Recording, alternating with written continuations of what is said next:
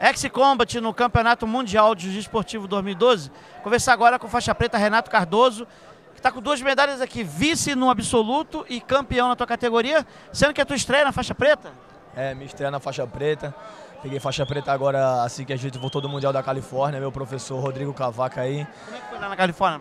Ah, pô, eu perdi nas quartas de final lá, na marrom, mas pô, já tinha uma bagagem de marrom, tinha ganhado o Pan-Americano, peso absoluto. Você pegou mais brasileiro ou tinha galera americana também bom lá? Não, é, ganhei as três primeiras lutas de brasileiro e perdi na, perdi na quarta luta para um gringo lá, que foi o campeão da categoria. Ah, sim. Lá tá ficando mais difícil. Os americanos agora estão aprendendo, né? Estão indo para cima. Né? É, pô, o pessoal tá ficando duro, né? Estratégico. O pessoal são, são bastante estratégicos, os gringos, né? E aqui para você, tua chave estava cheia?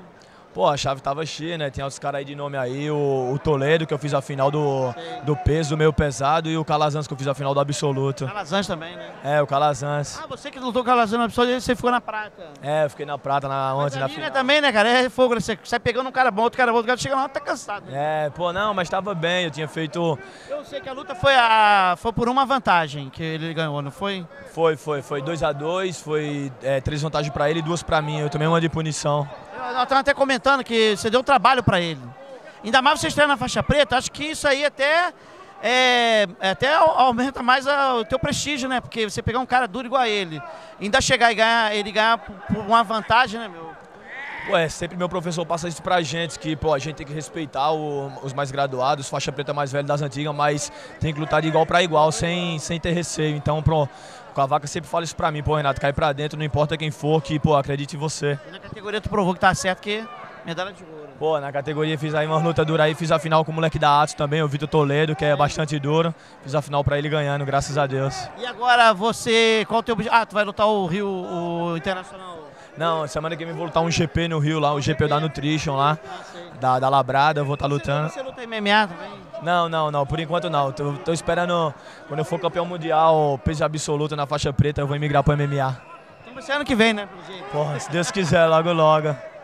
Fala, então, você tem patrocinador? Quer agradecer? Pô, queria agradecer a Coral, queria agradecer a todos os meus alunos de Santos, meu professor Rodrigo Cavaca, e, e dizer pro meu pai, pra minha mãe, pra minha família, pra minha filha, que isso aqui é pra vocês. Eu devo tudo para vocês, primeiramente a Deus. E Santos já saiu um garoto lá para o UFC, que foi o Charles do Bronx, do, é, que foi pro UFC, né? Você já é o segundo que tá no caminho aí, né?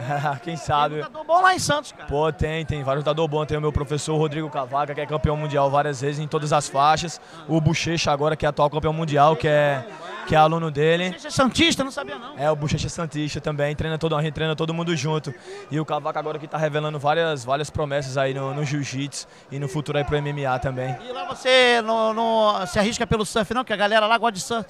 Eu estive lá no Guarujá, né? Muito, pô, lá o surf domina, né? Não, não, não. Como eu sou de Pernambuco, eu fui pra lá, que ele me convidou pra ir pra lá, é. Então meu negócio é só jiu-jitsu. Eu acordo pra treinar, vou, termino de dar aula, pô, vou pra casa dormir, descansar pra no outro dia começar a batalha tudo de novo. Então, cara, prazer te conhecer. Parabéns aí, hein? Estreante na faixa preta, já pegando prata no absoluto e ouro no peso aí, ó. Vamos acompanhar de perto. Paulo Jesus, diretamente do Mundial de Jiu-Jitsu Esportivo 2012, aqui no ginásio Mauro Pinheiro, Ibirapuera, São Paulo. Obrigado. Parabéns obrigado, aí, cara. Obrigado, Parabéns mesmo, hein?